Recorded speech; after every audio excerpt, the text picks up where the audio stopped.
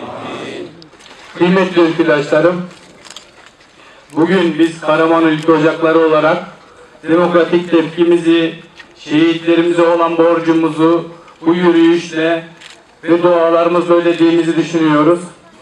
Şehrimizi 2-3 gündür şehitlerimizi anmak adına yapılan bu bazı konvoylar şehrimizde bazı sıkıntılı hallere sebep olmuştur düğün konvoyuna dönmüş. Bu konudaki kalbinde vatan sevgisiyle yaptıklarını bilerek yine de ben bu konuda yapan arkadaşlarımızı, düzenleyen arkadaşlarımızı biraz daha hassasiyetli olmaya davet ediyorum.